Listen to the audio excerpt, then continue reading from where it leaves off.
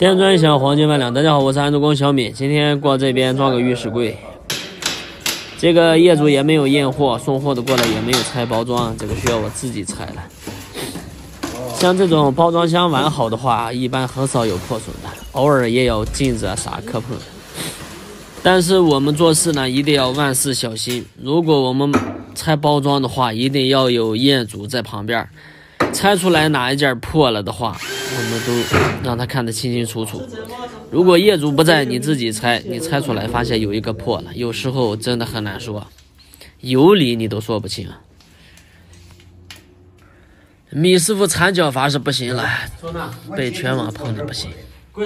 所以说缠脚阀大家以后就不要看了，也不要跟我学了，自学成才吧。这个锅也是错这锅的。业主这个大爷真是个精明的人，过来一看我要这么操作，直接就告诉我，呃，小伙子，我们这可是上周水啊，这个水管怎么走的，怎么走的，嗯，然后还要把顶子拆开让我看啊，看看是哪个位置走下来的，拿尺子要做个标记，看看我的吸盘牛逼不牛逼，他拆都拆不下来，我的大吸盘一上，这么大一块直接给他拆下来了，所以说我们的吸盘是多用的。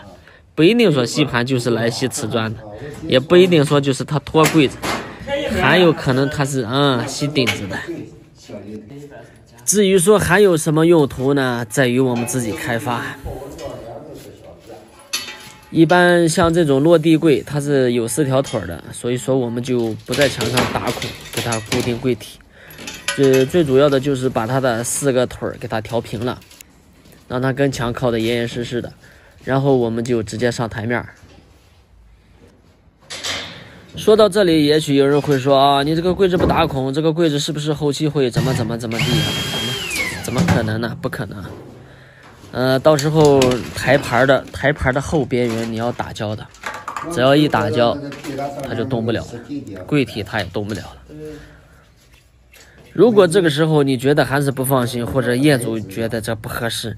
那你可以在台盘和柜体连接的部分那个打点玻璃胶，这个胶干了以后，它就形成一个整体。不过这种情况其实很少，往往业主都不介意说在墙上，哎呀，能能少打几个洞就少打几个洞啊。这新兴的房子装修一下，在墙上打几个洞会心疼的。所以说我们在能安装的安装好的基础上，能少打就少打。之前看过我视频的，应该都知道，我装下水的时候要在这个密封圈的这个位置要打点玻璃胶，这样的密封性会更好，不容易漏水。有一些牌它做的不太标准，呃，你光靠那个皮垫它是压不住的，会漏水。现在要装金柜了，不过这个水管的走向呢，我已经确定了，这个像它这个打孔是没有问题的，不会打到水管。电线呢是上走的，也在柜体的中心，打孔在四周没有问题。这个柜子我就不拆镜子了，直接上，因为大爷说我来给你帮忙，我说没问题，那就直接上吧。再加上我的吸盘，那那那那相当牢固了。平时习惯了一个人干活，有自己的一套方法，但是突然有人过来帮忙，呃，你要做调整的话，他他他看不出你你要干什么。所以说你要说，哎，往左边一点啊，往右边一点，这种指挥别人的感觉，尤其这么大岁数一个大爷，我都我都觉得不合适呀。大爷的一片好心过来帮忙，我也不好意思拒绝，但是还是非常感谢大爷能这么热心的帮忙。现在的年轻人真的要向大爷学习学习。有时候我觉得帮助别人，也许就是一个举动，有时候就是一个眼神。也许就是一句话，虽然特别的渺小，但是同样感动着你泪哭流涕。呃，这个柜子装好以后呢，嗯，预留的这个电源线在进柜的第二层。大爷说：“哎呀，这个线这这这这不好弄了吧？”我说：“没问题，大爷你放心吧，我给你全全搞定，打孔接线全给你弄得漂漂亮亮的。”只要我这电钻一响，哪有解决不了的问题？真是。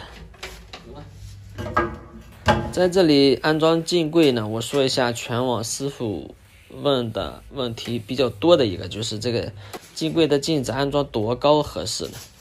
嗯，按我个人安装这么多的经验，其实这个没有一个具体的规定，因为镜子的高度它不一样，有的七十，有的八十，有的六十，有的五十五，甚至还有的五十。所以说呢，一般那个高度就拿这个镜子的中心来说吧，它的中心中心就是离地一米六到一米六五这个高度，你可以慢慢的去品一下，往往这个是适合我们正常人高度的。如果业主太低或者太高，我们可以做一个微微的调整。安装全部完成了，现在做一个最后的测试，试水，试水没有问题，我们就可以打胶手工了。好了，本期浴室柜的视频就拍到这里了，谢谢大家的观看，给米师傅点个赞，支持一下，谢谢大家。